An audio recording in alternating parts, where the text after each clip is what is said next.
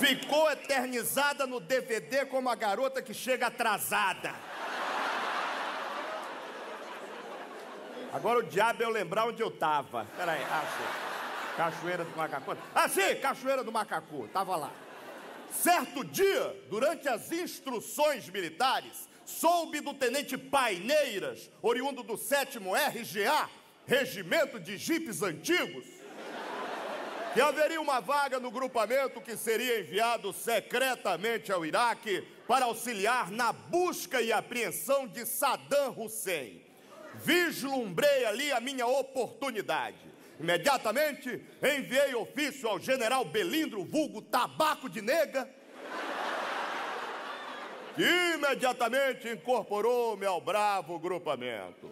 Percebi naquele instante que iria conhecer outros países graças ao glorioso exército brasileiro. Mas antes não tivesse ido.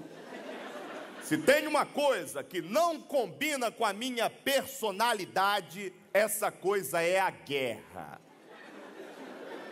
Até briga de vizinhos deixa o meu estômago embrulhado. E ao sair do Brasil, não me disseram que o Iraque estava em guerra.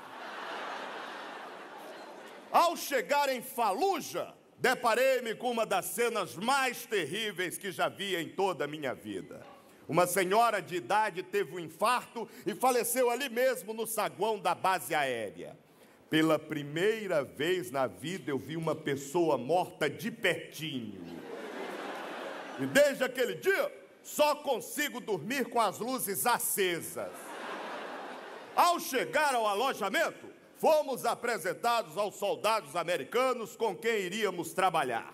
A título de boas-vindas, o coronel Glover responsável pelo regimento americano, convidou-nos para uma noitada de cervejas e belas mulheres iraquianas que eles tinham acabado de capturar. Eu não pude ir. Não pude ir porque o tenente Fidelis me mandou lavar os veículos militares.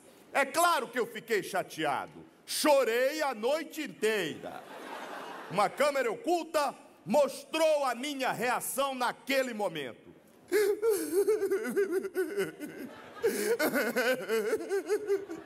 Por que, sou eu que tenho que lavar a porra desse tanque? Por quê? Por quê? Por quê? Por quê? Seu tenente Fidelis, tenente Fidelis, viado, viado, tenente Fidelis, viado, viado. Também quando eu chegar no Brasil, vou comprar uma caixa de cerveja e vou tomar sozinho. Vou tomar sozinho. Aquilo tudo foi culpa do tenente Fidelis. Mas eu me vinguei dele, é, não deixei barato não.